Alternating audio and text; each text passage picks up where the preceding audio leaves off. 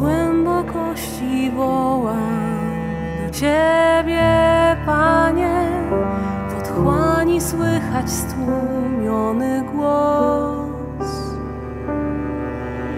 Nie bądź obojętny na moje błaganie, wyciągnij dłoń i odmień.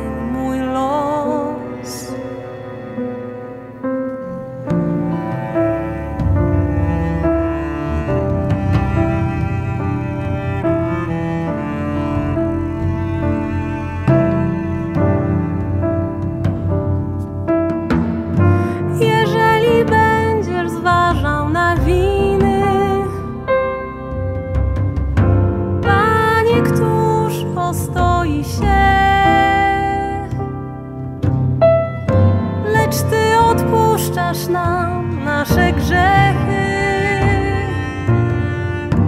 bo jesteś pełen łaski, jesteś pełen łaski.